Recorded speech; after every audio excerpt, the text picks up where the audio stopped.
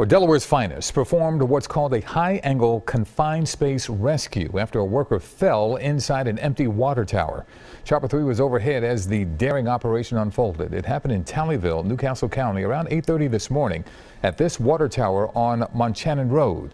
Police say a 59-year-old woman was doing maintenance when she fell, suffering serious injuries to her head, her arm, neck, and back.